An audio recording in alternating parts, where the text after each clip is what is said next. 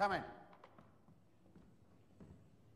Now, I haven't the faintest idea, Harry, how this map came to be in your possession. But quite frankly, I am astounded that you didn't hand it in. Did it never occur to you that this, in the hands of Sirius Black, is a map to you? No. No, sir. You know, your father never set much store by the rules either, but he and your mother gave their lives to save yours. And gambling their sacrifice by wandering around the castle, unprotected, with a killer on the loose, seems to me a pretty poor way to repay them. Now, I will not cover up for you again, Harry. Do you hear me?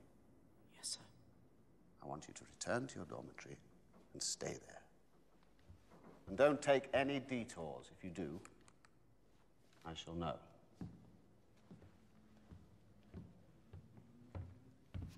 Professor, just so you know, I don't think that map always works. Earlier on, it showed someone in the castle. Someone I know to be dead. Oh, really? And who might that be? Peter Pettigrew. That's not possible. It's just what I saw. Night, Professor.